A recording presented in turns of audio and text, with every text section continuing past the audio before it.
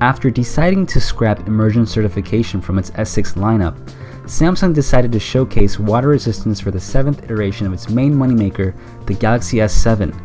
So we decided to find out how usable the screen is if we brought water into the formula. Hey guys, Ricky here, GSMArena.com. This is a water test for the Galaxy S7 Edge. Now I'm, I'm at Bryant Park here in New York City. I'm gonna go ahead and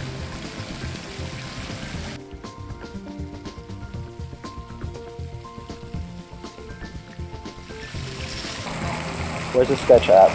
Here. There's a little bit of water on the screen, but I can still write. I can still use the double dual touch for a pinch to zoom. Where's my eraser tool here?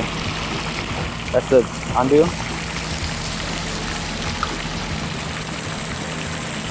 It actually does a really good job of knowing that the phone is wet and it doesn't it doesn't stop the screen from working. So if you just pick your phone up out of the water and you're gonna use it with your wet hand even, or if you just wash your hands, you wouldn't really have trouble touching the screen at all.